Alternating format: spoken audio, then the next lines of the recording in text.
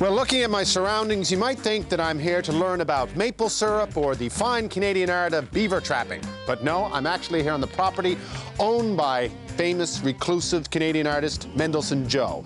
And I'm about to do something I never thought I would ever do. I'm about to get my portrait painted because when Mendelson Joe calls, you answer. And quite frankly, I'm flattered and uh, a little bit terrified.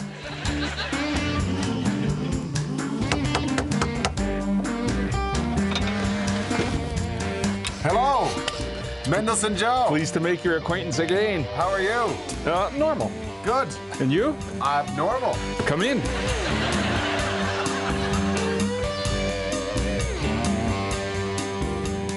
Here I am with Joe. Joe, we're up here in the middle of the woods Yes, sir. in a cabin. Yes. Where you live. Yes. And paint. Yes. A fairly solitary existence. Yes. You know how people love people? I don't like people too much. No. really? Not Is that why you're up here in the woods? Yep. Do you have a computer? No, sir. No. Do you have um, fax machine? No, sir. Right. Do you have neighbors? Yes, sir. How close are the neighbors? Too close.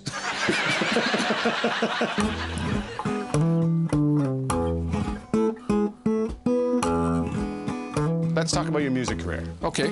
Because you didn't start out as a as a visual artist. I started at the age of 19 as a professional musician playing in the Depression Coffee House in Calgary, Alberta in 1964. and you became a pop star. Briefly, for five minutes in the period of 1969, 70, 71, 72, and that was it. Why did you stop being a pop star and decide to go paint? Well, I, I continued making records after I left the band, and uh, but the thing is, is the only explanation is, is no one cared. Why lie? Why lie? So let's talk about your paintings. Okay. You're, you're famous for your portraits.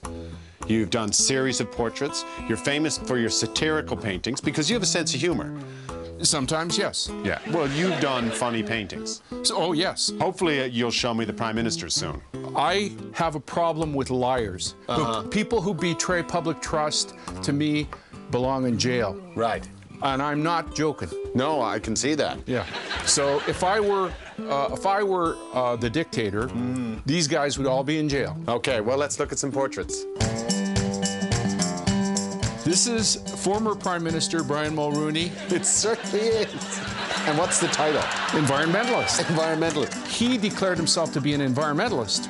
George Herbert Walker Bush, the senior Bush. And of course, immediately, Brian Mulroney said, I'm an environmentalist. This is the environmentalist. Okay. What do we have here? We have the fastest hypocrite in the West. So you're not impressed? Uh, he's just like a liberal. Oh. Well, this is this is my final one of Chrétien. Uh, I I ran out of ideas on how to express my contempt for this betrayer of the public trust. And what is this called? Piece of shit in a suit. I'm not in the business of flattery. Oh my. No, I'm not a gush guy. No? I'm I try to tell the truth. Right. That's why you make me nervous. Are you ready to sit? I am.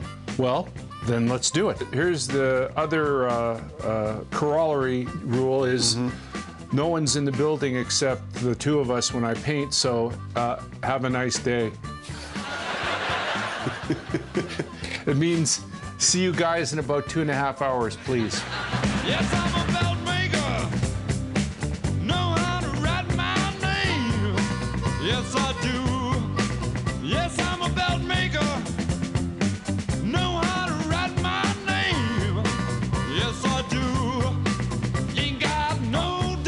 Trouble. Oh. Cause I know Oh. what to do. All right. I like that.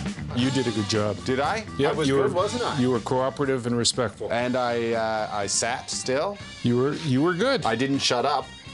You were just fine. Yes. I've gone from good to just fine. Well, that's good for me. That's good. Thank you. Thank you, my friend. Thank Wonderful you. to meet you. What a great artist. And uh, Thank you. thank you for uh, doing this for me, for you. For me.